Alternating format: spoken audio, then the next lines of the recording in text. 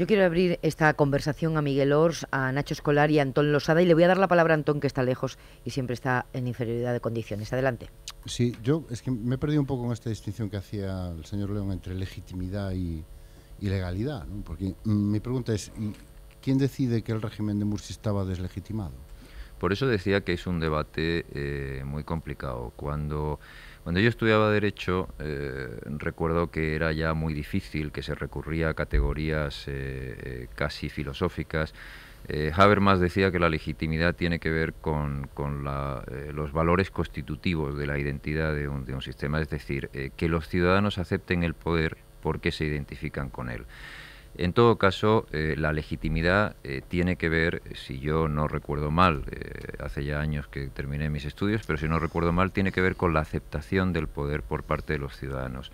Eso estaba claramente cuestionado por los 20 millones de personas que estaban en la calle.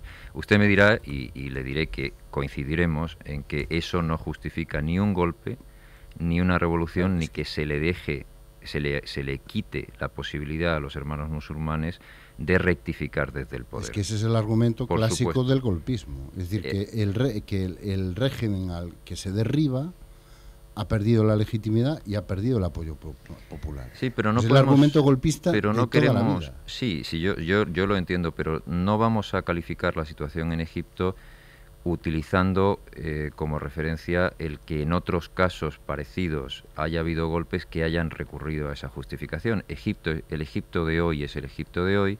Hay una situación muy confusa, pero como estaba recordando, aquellas normas y aquel apoyo popular que sirvió eh, para votar a Morsi ha ido siendo sustituido por una serie de normas que no tenían el apoyo de la mayoría de los partidos políticos y por tanto hay elementos objetivos que justifican esa... esa... Por cierto, de Morsi sabemos algo, usted acaba de llegar de allí. Sí, sí. ¿Sabemos dónde está exactamente? No sabemos dónde está, pero sabemos eh, que está, creemos que está en el cuartel de la Guardia Republicana, el ejército ha dicho que no está retenido, que tanto él como su familia están en un lugar seguro eh, para evitar que sean atacados. ¿Y ustedes hemos se lo creen? pedido, no, hemos pedido, es lo que le decía ayer, hicimos una, una declaración pública pidiendo eh, que se muestren imágenes, que se muestre que eso es así, que se, que se demuestre que es, que es de, esa manera, y hemos insistido eh, en que el hecho de que se haya sustituido una situación en la que había una gran polémica, no significa que demos por bueno lo que hay ahora. Hasta que no se vea claramente que el poder está en manos de los partidos políticos y los hermanos musulmanes se incorporen al proceso, la Unión Europea no va a dar por buena lo que ocurre ahora. Miguel. ¿Y, qué tiene prevista la comunidad internacional en general y la Unión Europea si la situación en, Egipto, se, como la actual, se cronifica? Pues nadie quiera pensar en ello, pero tiene aspecto de que se puede llegar a dividir e incluso puede llegar a una situación de guerra civil como la que, la que ha habido en Siria. Y Egipto, la desestabilización sería brutal, no solo por los pobres egipcios, sino pensando en el mundo en general. Efectivamente, la situación actual todavía no está eh, controlada.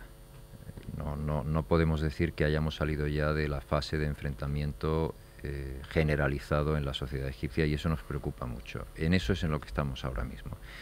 Pero si se superase esa fase y entráramos en, un, en una fase de negociación, eh, hemos dejado muy claro que no puede haber una intervención, ni siquiera una tutela del ejército. El ejército tiene que eh, reducir su actividad a lo, a lo que la Constitución permite, que es garantizar la defensa del país, punto.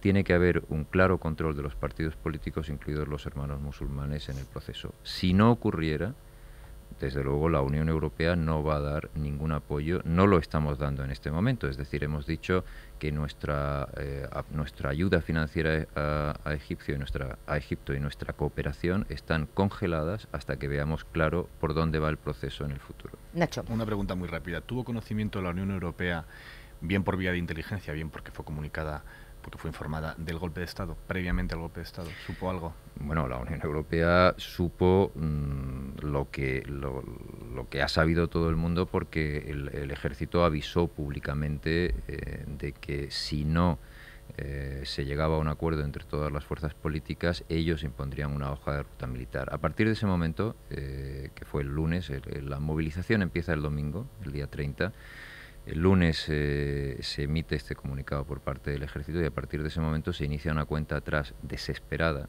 desesperada por evitar que se tuviese que llegar a una intervención. Por una parte, la gente que estaba en la calle amenazaba con ir al Palacio Presidencial y ahí se podían haber producido dos situaciones, o un baño de sangre porque el ejército defendiera el Palacio Presidencial, o si llegaban a entrar en el Palacio Presidencial, que acabaran con la vida incluso del presidente. Era una situación de máxima tensión. Nuestros esfuerzos se centraban en qué se podía hacer en ese momento para eh, eh, frenar eh, a la gente que estaba en la calle y al mismo tiempo darles una razón para hacerlo. Y nuestra propuesta fue intentemos convencer a Morsi de que se convoque un referéndum sobre su continuidad. Morsi se negó. Se hicieron todos los esfuerzos del mundo, porque sabíamos que llegar al golpe iba a ser, y, y en ese momento ya parecía inevitable. En el momento que el ejército anunció que, que harían esa hoja de ruta, parecía inevitable.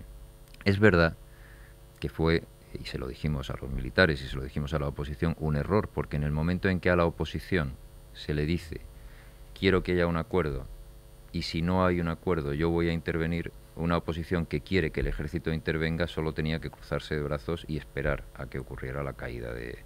Por eso insisto que la polarización es nuestra mayor preocupación y, eso es lo que ocurre en ese momento. Y sabíamos que iba a haber intervención militar. ¿Existe hoy el riesgo de guerra civil?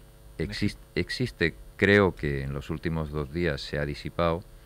Estamos haciendo también muchos esfuerzos porque haya una especie de tregua de Ramadán eh, porque no renuncien a su, a su movilización contra eh, el golpe y contra lo que ha venido después, pero que haya eh, una tregua que permita recuperar de alguna forma la vía política. Los hermanos musulmanes y la gente más moderada entre los hermanos ya nos lo están diciendo, quieren volver a esa vía política, entienden que se han cometido errores, critican a, incluso en privado al presidente Morsi eh, y, bueno, lo importante es que ahora se pueda empezar de nuevo sobre una base diferente. Hay que recordar que Egipto es un país que nunca ha conocido la democracia.